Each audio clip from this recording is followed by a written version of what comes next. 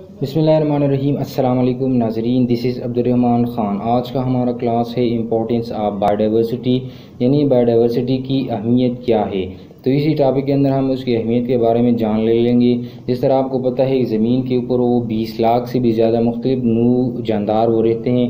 उन जानदारों में तो ज़्यादातर खसूसियात वो मुश्तरक हैं, लेकिन यही जानदार जिसामत के लिहाज से, शक्ल के लिहाज से और तर्ज अमल के लिहाज से एक दूसरे से मुख्तलिफ़ हैं। जानदारों के दरमियान इस फ़र्क को हयातियाती तनाव या बायोडाइवर्सिटी वो कहा जाता है। यानी बायो का क्या मतलब होता है? लाइफ और डाइवर्सिटी का क्या मतलब होता है? वेराइटीज़ यानी द वेराइटीज़ ऑफ़ ऑर्गेनिजम्स ठीक दा? यानी the presence of varieties of in organisms is called biodiversity ठीक है? यानी एक जानदार का दूसरे जानदार से मुख्तलिफ़ होना, वो मुख्तलिफ़ जिसामत के लिहाज से भी हो सकते हैं, शक्ल के लिहाज से भी हो सकते हैं और तर्ज अमल यानी मूड ऑफ़ लाइफ के लिहाज से भी हो सकते हैं। ठीक है?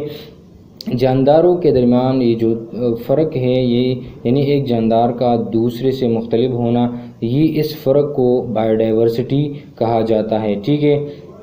और यही हयातियाती तनाव जो है या बायोडाइवर्सिटी इससे हम मुख्तलिफ़ जानदारों के बारे में इलम बड़ी आसानी के साथ हासिल कर सकते हैं। यानी मिसाल के तौर पर जो सबसे पहले जो उसकी इम्पॉर्टेंस है, वो है source of food source of food का मतलब क्या है? मिसाल के तौर पर हम प्लांट्स ले लेते हैं। प्लांट्स को हम प्रोड्यूसर कहा, कहते हैं क्योंकि उसके अंदर क्लोरोपिल मौजूद हैं। और क्लोरोपिल अगर उसके अंदर मौजूद हैं तो ये इस बात की इंडिकेशन की अपनी खुराक को तैयार कर सकता है, यानी ये लाइट को ट्रेप कर सकता है और अपनी खुराक को तैयार कर सकता है। इसलिए जो प्लांट्स होते हैं, उसको ऑटोट्रॉपिक या ऑटोट्रॉप्स वो कहा जाता है, यानी ही अपनी खुराक को तैयार कर सकता है, क्योंकि इसके अंदर वो क्लोरोपिल मौजूद हैं। इसके अलावा जितने भी वो अदर ऑर्गेनिज़म है, उसके अंदर अगर क्लोरोपिल मौजूद नहीं है तो ये अपनी खुराक को तैयार नहीं कर सकता। तो इसलिए ये प्लांट्स ही पर डिपेंड करते हैं, जिसको कंज्यूमर कहा जाता है। एक प्राइमरी कंज्यूमर होता है, यानी डायरेक्टली वो प्लांट्स पर डिपेंड करते हैं वेजिटेशन पर डिपेंड करता है, और उसको काले लेता है।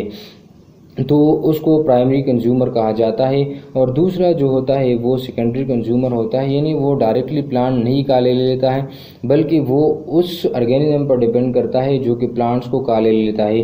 तो ये हमारे पास हो गया प्राइमरी कंज्यूमर तो जितने भी वो ऑर्गेनिजम्स हैं, वो अगर उसके अंदर क्लोरोपिल मौजूद नहीं है तो खुराक के लिहाज से वो प्लांट्स पर डिपेंड करते हैं और प्लांट्स क्या है, वो बायोडाइवर्सिटी है क्योंकि वो एक लिविंग थिंग है।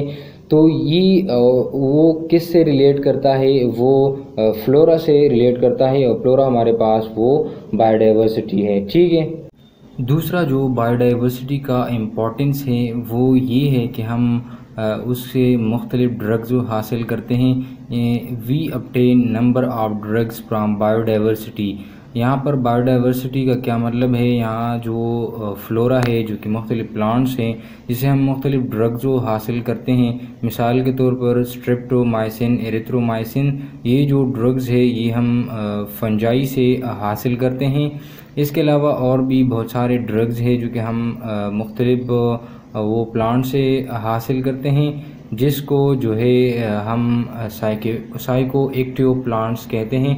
यानी वो प्लांट्स जो कि those plants which modify the activity of the brain यानी ब्रेन के एक्टिविटी को मॉडिफाई करता है, जिसको साइको एक्टिव प्लांट्स कहा जाता है। फिर हमारे पास साइको एक्टिव प्लांट्स के तीन अकसाम है। एक हेलोसिनो हेलोसिनोजन है जो कि हम उसके काने की वजह से फिर हम ख्याली दुनिया में घूम जाते हैं। ठीक है? इसके अलावा दूसरे नंबर पर स्टिमुलन है, जो कि ब्रेन एक्टिविटी को वो इन्हांस करता है। ठीक है? इसके अलावा जो तीसरा है, वो डिप्रेशन है, जो कि रिड्यूस मेंटल एक्टिविटी तो ये मुख्तलिफ़ प्लांट्स है, जो कि हम मुख्तलिफ़ एज ए मेडिसन यूज़ करते हैं। इसके अलावा मिसाल के तौर पर उनसे हम जो कैफ़ीन वगैरह हासिल करते हैं तो ये भी एक ड्रग है।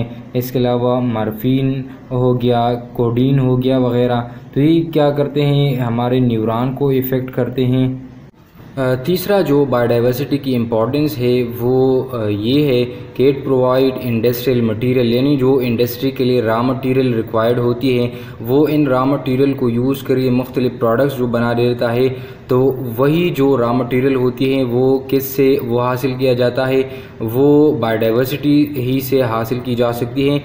मिसाल के तौर पर काटन इंडस्ट्री जो होती है जो आ, उनके लिए क्या रिक्वायर्ड होती है? उनके लिए कॉटन रिक्वायर्ड होती है। और कॉटन क्या है? हमारे पास एक प्लांट है और प्लांट वो एक फ्लोरा है। यानी वो और फ्लोरा क्या है? वो बायोडाइवर्सिटी है। तो देखिए प्लांट जो है, वो एज ए रोल अदा करता है कि वो रॉ मटेरियल वो सप्लाई करे किस चीज़ को कॉटन इंडस्ट्री को, ठीक है? इसके अलावा जितने भी रॉ मटेरियल है, वो ज़्यादातर बायोडाइवर्सिटी ही के ज़रिए से हासिल की जा सकती हैं, जिन्हें नेचुरल रिसोर्स भी कहा जा सकता है। यानी biodiversity play in important role in the production of industrial material ठीक है?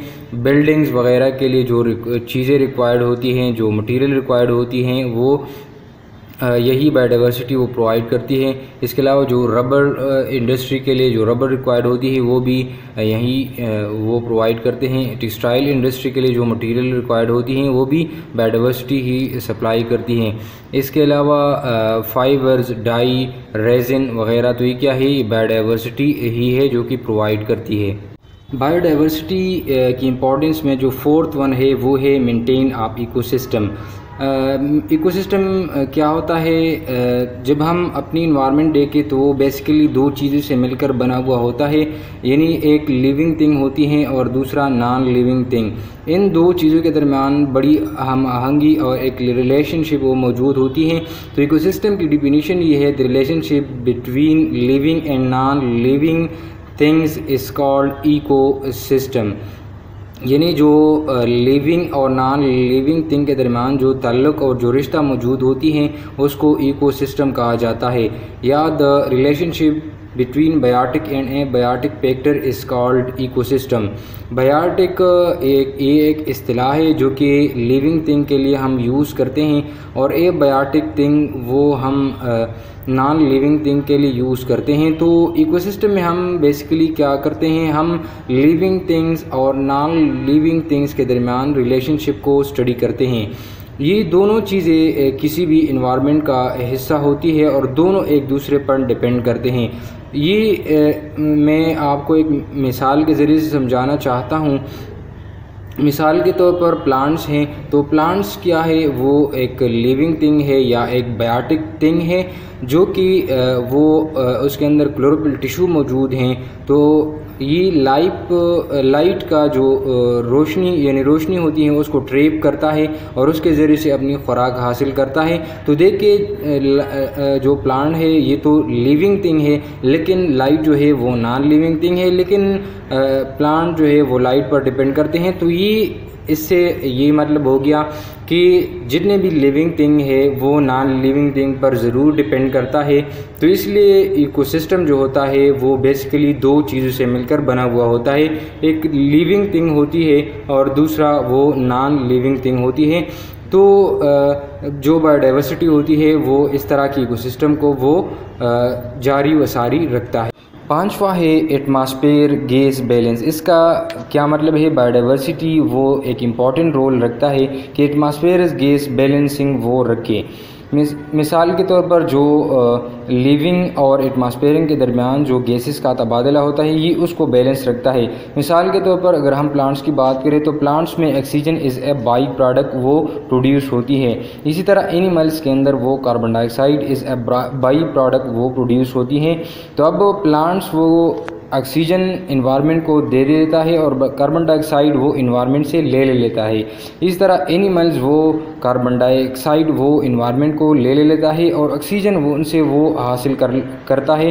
तो ये देखिए ये दो गैसेस के दरमियान वो बैलेंसिंग वो कौन करता है? वो बायोडाइवर्सिटी ही करता है।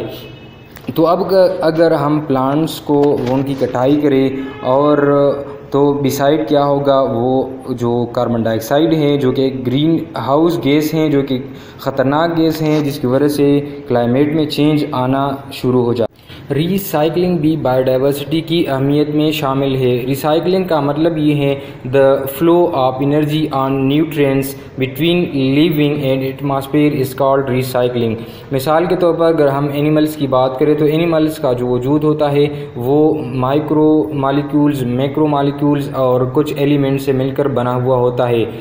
मिसाल के तौर पर carbon, hydrogen, oxygen, nitrogen phosphorus वगैरह। जब यही एनिमल्स की वो डेथ वाक्य हो जाती हैं तो यही एनिमल्स वो सॉइल में चले जाता है और सॉइल में माइक्रोव मौजूद होती हैं। मिसाल के तौर पर वायरस, बैक्टीरिया और फंजाई, जिसे डिकम्पोज़र भी कहा जाता है। तो यही माइक्रोब्स एनिमल्स की डिकम्पोजिशन करते हैं और यही मालिकू एनिमल जिनसे वो बना हुआ होता है, मिसाल के तौर पर nitrogen oxygen phosphorus calcium magnesium phosphorus वगैरह। तो यही वो सॉइल के अंदर वो चला जाता है और सॉइल में आपको पता है, यहाँ पर मुख्तलिफ़ वेजिटेशन और प्लांट्स वो आते हैं। तो यही न्यूट्रिएंट्स और एलिमेंट्स वगैरह वो प्लांट्स के अंदर चली आती हैं और प्लांट्स जो होते हैं वो एनिमल का ले लेता है। तो जिस तो इसी वजह से जो रिसाइकलिंग है between environment and living organism वो वकू पजीर होती हैं, जिस तरह आप देख सकते हैं।